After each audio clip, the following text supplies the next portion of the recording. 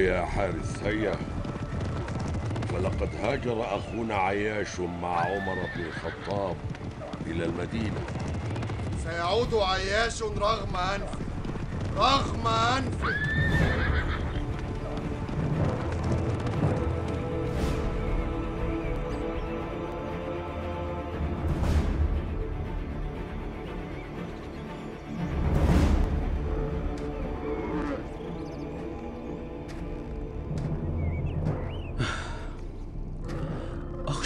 أمي يا عمر بن الخطاب.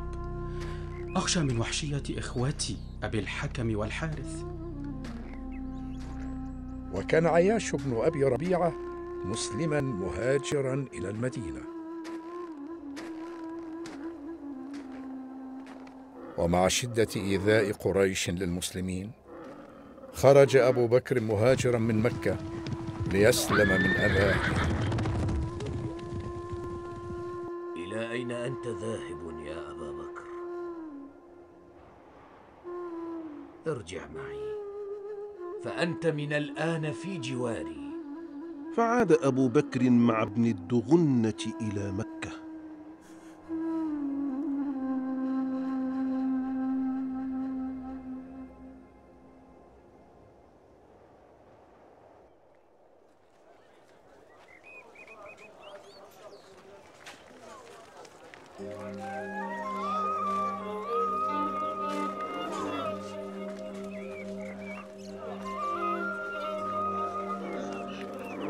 نحمد الله أن وصلنا إلى المدينة سالمين يا عمر.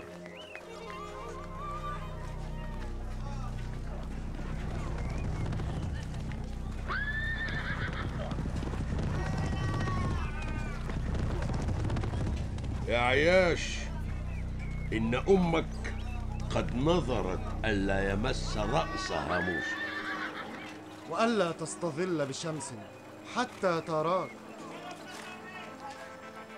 فرق قلب عياش على ما رفضه عمر من رجوع عياش إلى مكة فأعطاه عمر ناقته لسرعتها وقوتها.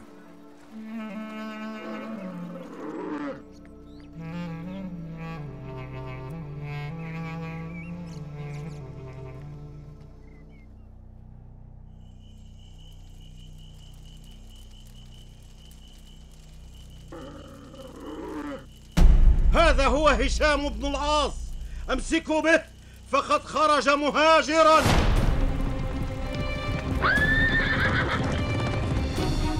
اتركوني اتركوني فليس لي فيكم حاجة. تعال معنا لتذوق العذاب والتنكيل. هيا هيا.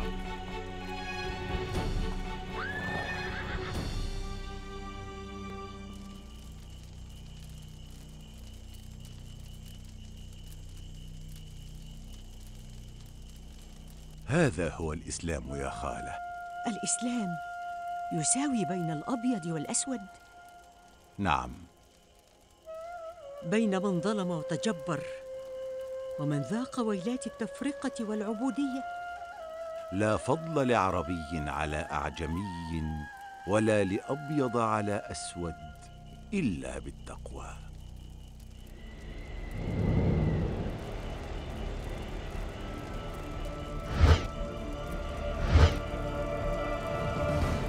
أتريد أن تترك دين الآباء؟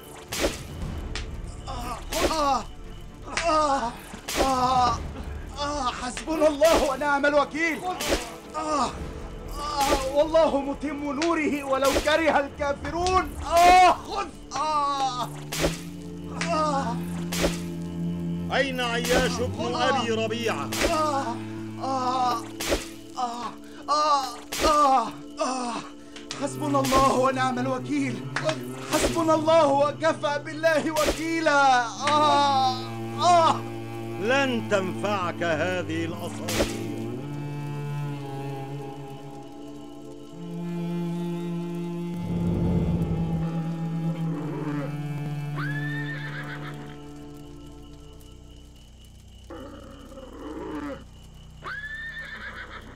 صف لي يا أبا الحكم. ما حال أمي؟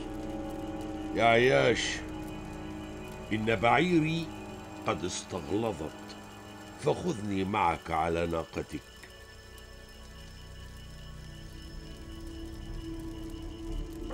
هيا يا أبا الحكم.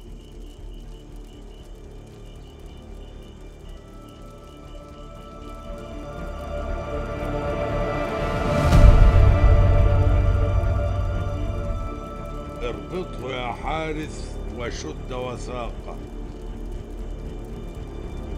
ما زال الغدر وما زالت الخيانة في دمكم أيها المشركون. أتريدون أن تتفضلوا علينا بدين من ابتداعكم أيها السفهاء؟ هيا!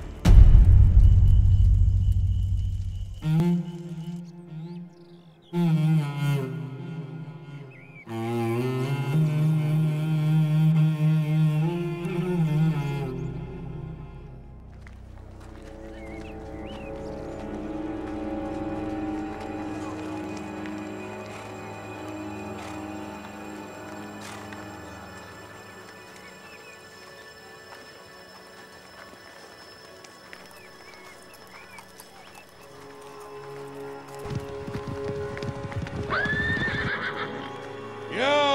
مكة. يا معشر قريش افعلوا هكذا بسفهائكم مثلما فعلنا بسفيهنا هذا.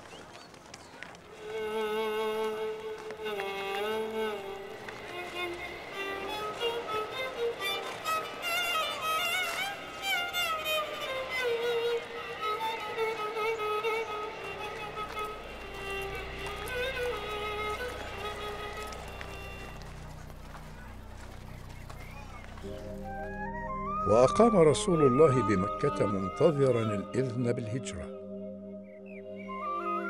وكان أبو بكر دائما يستأذن الرسول صلى الله عليه وسلم في الهجرة.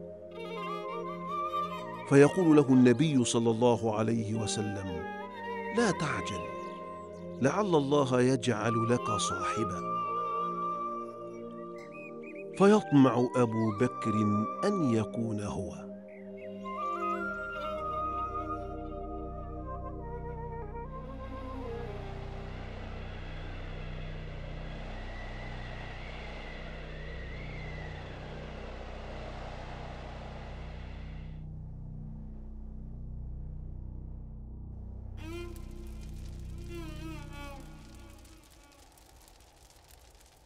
لا أدري كيف يأتي إلى الناس من يخرجهم من الظلمات إلى النور ثم يعادونه كل هذا العداء. يا عياش ولو شاء لهداهم أجمعين. إني أتألم أكثر ليس من دمي وجراحي بل من عداء العبد لربه يا هشام. آه لعل الله يحدث بعد ذلك أمرا. آه فاصبر واحتسب يا عياش ها أما زلتم على عنادكم؟